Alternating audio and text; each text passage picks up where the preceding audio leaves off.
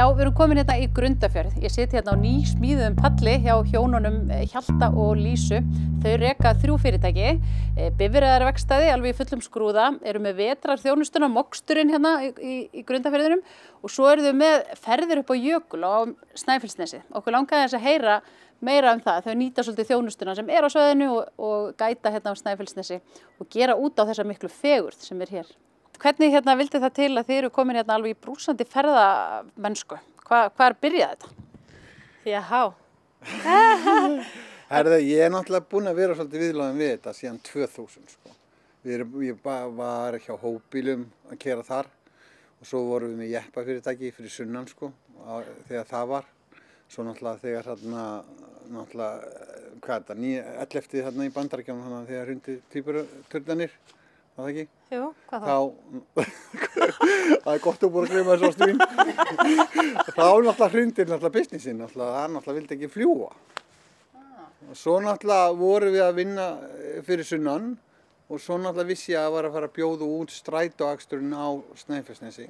Þá átáku ákvörðin að flytja engað og, og, og ég beigð og beigð og beigð og beigð og það var alltaf framlegt og hitt fyrir þetta ég beigð og beigð og og svo endur með því að hafa búið út og við fengum það og það var svona eiginlega liftistökin á þessu. Þá byrjuðum við svona, keiftum við fyrstu litlu rútuna og byrjuðum að keira eina leið á strætó og svo eiginlega bara svona vartið upp á sig, við bara svona Keiftum að einu einu, einu, einu, einu viðbútt og einu viðbútt og endur með því við erum einhver 8 eða 9 núna.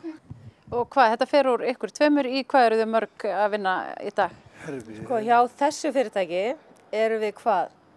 Fast, fjögur, fimm og svo erum við með þrjá til sex svona verktaka sem eru svona, svona íhlaupa og mest á sömurinn.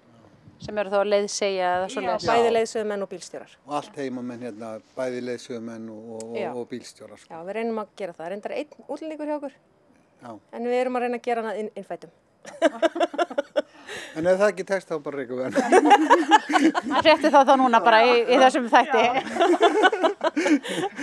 Hvað hérna, og já, þetta gengur þetta mestuleiti upp á að ferja fólk upp á jökul og svona. Uh, þetta er strætó sem við erum með og svo er það skemmtifæðarskipin. Það er náttúrulega ringferðir í kringum Snæfellsnes og upp á jökul og, og svo erum við ferðið í Berserkjarhaunnið og, og Hákallasafnið og allt þetta og reynum að nota okkar þjónusti hérna eins og í, í kring hérna, hérna nálagt. Og svo erum við með náttúrulega jökulinn og já, það er svona, það er, þetta er eiginlega allt svona, þetta er alveg nóg. Þannig að þið eru að stíla svolítið inn á mannauðin hérna heima já. og að nýta umhverfi og það sem er í bóði hjá öðrum hérna á Snæfellsnesinu. Algjörlega. Það er bara þannig. Og, og hér eru það að byggja upp. Þið, þið segið þið byrjið hérna 2011, eða ekki? Jú, Jú, þá byrjuðum við bara með þennan eina strætó og svo 2012 þá ákveðum við að stopna þetta fyrirtæki þessum kringum rúturnar og fara út í hérna turista business og við náttúrulega prófum fyrst að vera með bara sjálfferði kringum nesi frá Reykjavík. Það er bara erfitt að keppa við stóra aðalina í, í Reykjavík þannig að við ákveðum aðeins að bakka og fórum meira út í svona activity á svæðinu.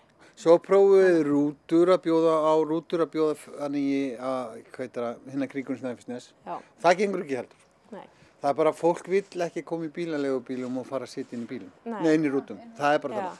Og þá er það bara í bóði annarkort eitthvað activity, fjórhjól eða, eða, eða eitthvað sniðið sem þeir geta ekki gert. Já, á bílunum. Það er eini möguleikin hjá okkur. Þá eiginlega bara hættu við reyndu tvís á mér þess að. Og því miður þá er náttúrulega ekki hægt en það er allt í lagi, það bara kom alltaf eitthvað annað í staðin. Sko.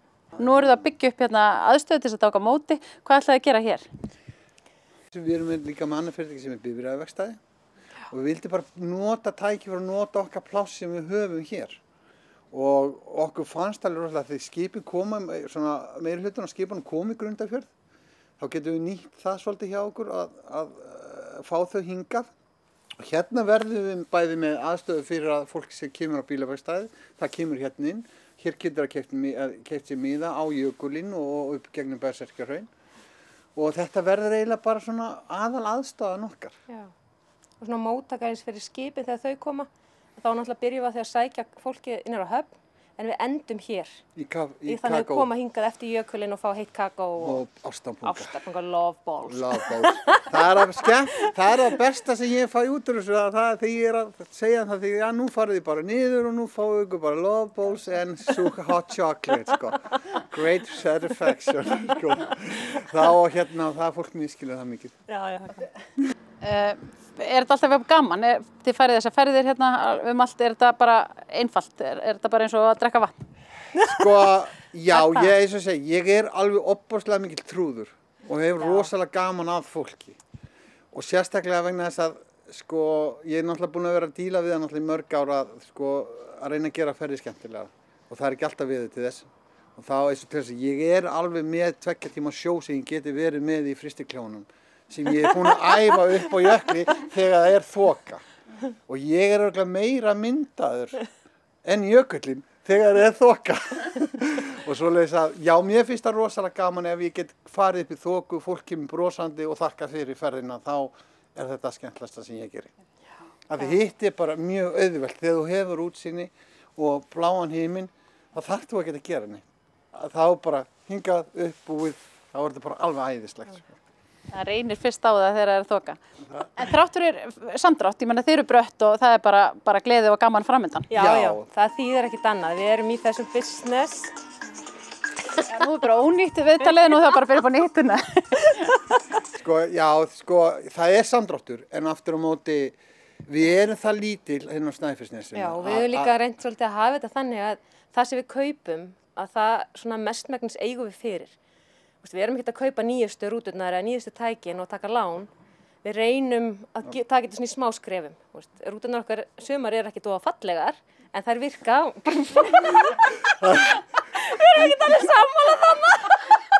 eins og, eins og tölvuna sem hún er með, það er ekkert rosalega nýjar. Er það.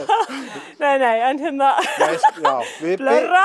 já, við eiginlega snýðum stakk eftir sniði, sko. Við, ef við sjáum til dæmi... heyrðu þetta, hvað sagði þeir? Stakk eftir vexti. Já, just, við, við eiginlega snýðum stakk eftir vexti. Vegna þess að, sko, við pröfum okkur áfram með eitthvað og við sjáum það virki. Þá náttúrulega förum við að pæla í einhver betra fyrir okkur, Já. sko, hvernig við getum gert betur og, og, og þægilega fyrir kunnan. að í, í dag þú ert ekki, þú, það er svo mikið óvisa í gangi að þú ert ekki að fara að rjúka og fara í einhverja fjárfestingar og fara að kaupa bíla og, og þetta dæmi sko.